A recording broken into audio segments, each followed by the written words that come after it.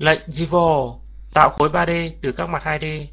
Các cách của lệnh từ menu vào và vào Solid và Givo. Cách thứ hai, nhập lệnh trực tiếp từ bàn phím, gõ từ chìa khóa R.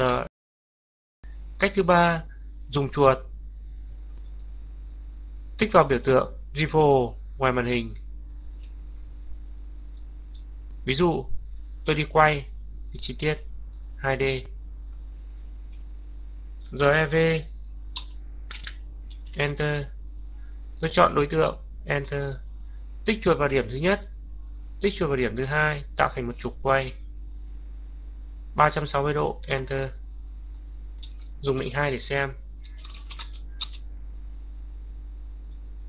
Đây là quay chi tiết. Nốt rộng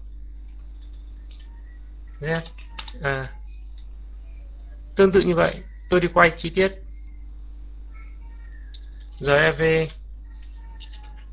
Enter. Tích chuột, Enter.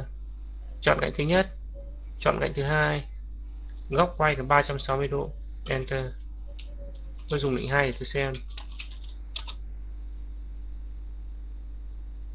Quay tròn 360 độ. Đó là lệnh